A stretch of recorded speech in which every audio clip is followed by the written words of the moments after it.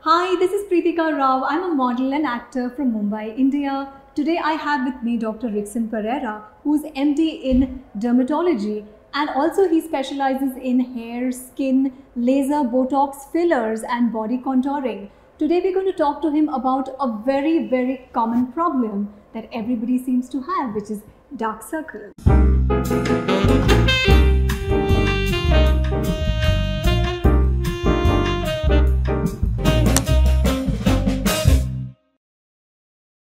Welcome, doctor, and thank you again for being with me on my show. Hi Preetika, thank you for having me. So dark circles, India is a nation of dark circles. Okay, let me put it that way. And uh, uh, I mean the causes are multiple. A lot of us are born with it, and uh, it just gets worse as we get older. I think the most common reason for dark circles are teenagers who don't sleep on time. They like they party, they you know they drink, they sleep at 3 a.m., 4 a.m., and then they wake up and then they want to have this you know fresh glowing skin, which is Not how possible. can you not possible. Absolutely. So uh, is it like a lifestyle thing also majorly? So uh, let me put it this way: uh, if you're already born with dark circles, it'll show. A lot of Indians we have this uh, uh, condition called as a pigmentary demarcation line. It'll typically show as a patch, you know, like a, a wing pattern on the cheek, and it'll it, it'll sort of extend onto the eyelids, causing a dark circle, and it'll also extend onto the forehead. So this typically this pattern makes an appearance uh, sometimes in the teenage years also, or uh, very commonly we see it in the late 20s and early 30s. And as you get uh, older, it continues to intensify. Uh, there are other situations in which a dark circle will become worse. That is, like you rightly said, lack of sleep, a bad lifestyle, smoking can worsen dark circles. Uh, during pregnancy, dark circles can worsen because of hormonal stimulation, which makes the skin darker in certain areas. There is a condition called as acanthosis nigricans. So, a bad diet in which there's a lot of junk food, a lot of sugar, alcohol, all of this can cause an increase in a particular hormone called insulin and that can worsen dark circles. If you have a thyroid deficiency that can worsen your dark circles. If your b12 is uh, low or your hemoglobin is low it can cause a dark circle. Uh, if you recently recovered from an illness like you know covid viral fevers uh, if you've lost weight so all of these uh, conditions can uh, worsen dark circles or cause dark circles. In some people, when they have eczemas, okay, very commonly if they have repeated eyelid allergies, you know, it's very common in certain weathers where people start to develop itchy eyes and they constantly rub those eyes, uh, itchy eyes, and that can uh, you know cause dark circles. Okay. So the causes of dark circles are multiple. A lot of people find it very difficult to deal with uh, them. Right. Are dark circles also uh, like commonly seen with hollow under eyes? Yes. So uh, we have a condition called as a tear trough. Now, uh, so that's very common. You see a groove on the inner eyelid, and sometimes it can extend as a hollow right up to the outer uh, eyelid. And uh, so these are uh, due to the lack of fat in the under eye uh, skin because Okay. uh, in some races where you can see that the cheek fullness extends onto the under eye, so there is no hollow. But in a lot of us Indians, uh, uh, the cheek uh, fat just stops at the cheek; it doesn't extend into the eyelid, Okay. and uh, that can give the appearance of a hollow under eye area. It's just lack of fat in the under eye uh, skin. Okay. So uh, are dark circles uh, treatable? Because I am assuming that they are treatable. Yes. So we cannot erase a dark circle, especially if it's come from pigmentary demarcation lines. Like if you're born with it, you're born with it. You cannot erase it. But uh, certain treatments, certain lifestyle measures can improve the overall quality of your skin and uh, uh, you know uh, help the dark circles lighten. So uh, this includes a good good lifestyle habits. Uh, you sleep well, sleep on time. Uh, you know, cut out uh, junk food from your diet as much as po- possible. Like have a well-rounded, well-balanced diet. Include a lot of uh, fruits, vegetables, uh, your grains, pulses, nuts. Uh, eat good quality protein. So have a well-rounded diet in which you include all the food groups, Uh-huh. uh, and that will improve your general health as well as your skin and hair, and that reduces uh, dark circles. Okay. If there are any deficiencies uh, like hemoglobin B12, those can be treated. Mm-hmm. Uh, you know, see your doctor if you if you feel uh, like you're fatigued and you know along with that if you have dark circles then it could s- suggest some deficiencies. So you can do blood tests and you know correct those deficiencies. Okay. um, uh, in case you have eczema prone skin then you know uh, avoid using very harsh cleansers on your eyelids. Uh, moisturize it well. Sometimes uh, if the eczema gets out of control um, you can have some prescription creams to help treat the eczema. And that will uh, and keep your skin moisturized and be gentle with your skin. Don't be aggressive. Don't rub your eyes or don't use any harsh products. So all of these can minimize the uh, can help your eyelid skin heal and minimize dark circles. And as far as treatments are concerned there are good creams that can be used. There are peels which can be used for the uh, eyelids. Uh, there are lasers that can be used to treat the darkness on the under eye areas.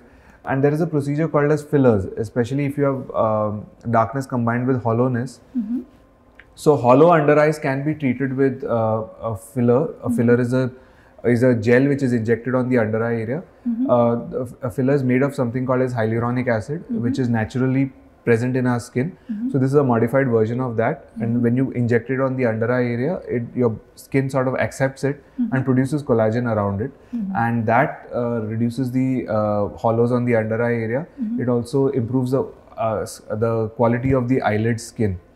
So uh, those are some of the things. Some some people have this uh, lower eyelid roll uh, on the uh, under eye area, um, and sometimes you can do a little bit of uh, Botox there to help uh, reduce that uh, roll. How long will it last? So fillers tend to last long. They uh, although the uh, it's mentioned on the label and studies have shown that it lasts only uh, for a year, but it tends to last much longer. Uh, it typically lasts for one and a half to two years. After which you can do a little bit of touch up, and then that result will last even longer. Um, peels, uh, the results are uh, short lived. Like when you do peels, you have to typically do them uh, twice in a month or once in a month, and then you know maintenance treatments are required. Uh, and of course, your creams, uh, creams and sunscreen. Okay, sunscreens are very important. Okay. Uh, uh, when you treat, when you apply sunscreen all over the face, it's a very good idea to use a, a tinted product on the under eye because a concealer or a concealer, you know, anything that is opaque will block out light. Uh, so it provides much, uh, as we know that any dark spot on the skin uh, darkens with sun exposure. Okay. So you have to protect it against sunlight. So any dark patch on the skin, which even if it's the eyelids, you have to protect it from the sun. Okay. And so you need to wear a product like a concealer or a tinted sunscreen, uh, which will camouflage that spot and block out light more effectively. Are sunscreens safe to apply under the eye? Yes, so you can apply a tinted sunscreen on the under eye. They are safe. There are certain uh, uh, sunscreen brands or ingredients which can cause a burning sensation in the eye. That's it is common, but there are uh, formulations available without that uh, agent. So there are sunscreens which are compatible with uh, under eye usage. Okay. But I would recommend if you have sensitive under eye skin, then something just moisturize and use a concealer. That would uh, work um, as a sunscreen for your under eye area. Uh, so is icing under the eyes, is it safe? So icing under the eyes is, is safe. There's no uh, worries, but it, it may not have uh, benefits. If you have like say uh, puffy eyes, uh, then uh, any cold application will cause the blood vessels on the under eye to close down, and that can reduce puffiness. Uh, but later on, uh, what can happen is those blood vessels can open up a little more than what they were, and that may uh, you know uh, cause the puffiness to come back again. Okay. So icing uh, may have temporary benefits. Uh, if you want a reduction in puffiness that lasts long, you can use an under eye cream containing caffeine, and caffeine can give you much prolonged uh, uh, reduction in puffiness, and it's very safe to use on the under eye area. Is it safe to use anti-aging creams under your eyes? Yes. So uh, the thing is, a lot of anti-aging creams contain retinols, that's vitamin A or vitamin C, niacinamide, uh, peptides, all of these uh, ingredients. Uh, if you don't have uh, sensitive under eyes, then even your face cream can be extended as a thin film on the under eye. Okay. Uh, but if you have sensitive uh, eyelid skin, then one must uh, use products designed specifically for under eye area. And typically, these are uh, and the concentrations of the actives like the retinol, the peptides are lower than uh, what are used on uh, the facial skin. Okay, so look for ingredients like retinol, uh, niacinamide, um, peptides. uh, vitamin C, uh, low strength glycolic acid. All of these are present in uh, uh, eye creams and they, they actually uh, give quite good results. Is there any uh, under eye cream in the market uh, which has a specific ingredient that's not really recommended for under eyes at, at present?